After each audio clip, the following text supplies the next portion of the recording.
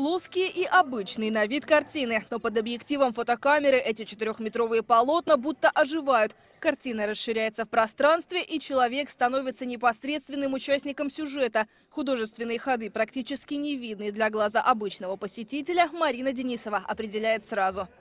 Когда я вижу сюжет, мне вот прям его хочется, хочется нарисовать. Вот есть готовое полотно, я начинаю творить, и оно само получается. Я, и, ну, как бы я уже вижу, как оно в 3D будет, как нужно растянуть перспективу, где под каким углом это будет смотреться, с какой точки это выстроится.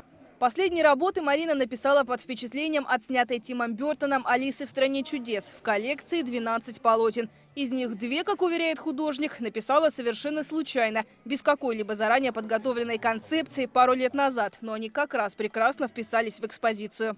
Вообще классно. Я не ожидала, что я здесь увижу. Мне просто сказали 3D-выставка. Ну что может быть на 3D-выставке? Но погрузившись в эту страну Алисы, эм, это что-то невероятное. С учетом того, что это одна из самых любимых книжек в детстве, конечно, для меня это детские впечатления в первую очередь. Всего в коллекции художника около 40 объемных работ. Все они обычно хранятся на складе. Перед каждой презентацией проходят серьезную реставрацию. Это уже третья масштабная выставка. Плюс экспозиция побывала в Уссурийске. А Сейчас э, с нами связался город Благовещенск, город Артем. А, Артем частично попросили картины выставить э, Маринины в свою галерею. А Благовещенск тоже частично. Потом на Петропавловск-Камчатский попросил два полотна вот с этой коллекции. Поэтому, конечно, люди проявляют интерес.